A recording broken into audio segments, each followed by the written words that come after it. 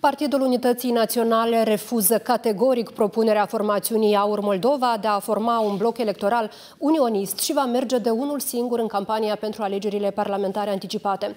Declarația a fost făcută de liderul PUN, Octavian Țâcu, în cadrul unei emisiuni televizate. Acesta a menționat că oamenii din partidul său nu ar accepta să se asocieze cu o formațiune care în România s-a manifestat ca fiind antivaccin, antimăști, împotriva NATO și a Uniunii Europene. Astăzi PUN a depus listele de candidați candidați la funcția de deputat la CEC pentru a fi înregistrat.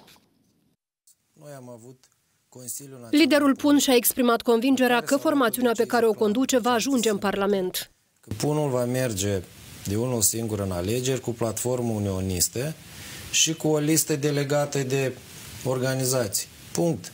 Lucrurile nu mai pot fi schimbate. Eu personal mai bine mă întorc la catedra universitară decât să intru cu aur în Parlament. În același timp, Țicu a venit cu o contraofertă către Aur Moldova să susțină Partidul Unității Naționale în aceste alegeri. Deci, băieții se retrag și spun clar, acum susținem platforma unionistă a Partidului Unității Naționale. Și nu participăm în scrutin. Exact. Pentru că n-au ce face. Aici, dacă vor rămâne în acest scrutin, fără oameni, fără imagine, cu, cu aurul șifonat și cu liderii compromiși. Deci ei n-au nimic, să fie clar.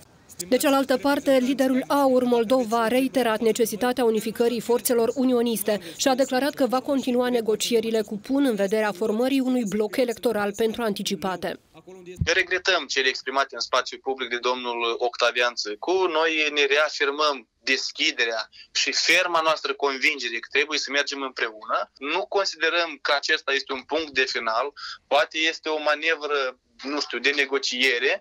Bilețchi a mai precizat că formațiunea sa i-a propus Partidului Unității Naționale să meargă împreună pe listele naționale, însă Pun a refuzat, motivând că ar fi posibilă unificarea forțelor doar în cadrul unui bloc electoral. Din această cauză, refuzul lui Țicu este unul bizar, deoarece chiar partidul său a venit cu ideea unui bloc electoral, conchide Bilețchi. Anterior platformei Aur Moldova i s-a alăturat Partidul Liberal, Uniunea Salvați Basarabia și Partidul Popular Românesc.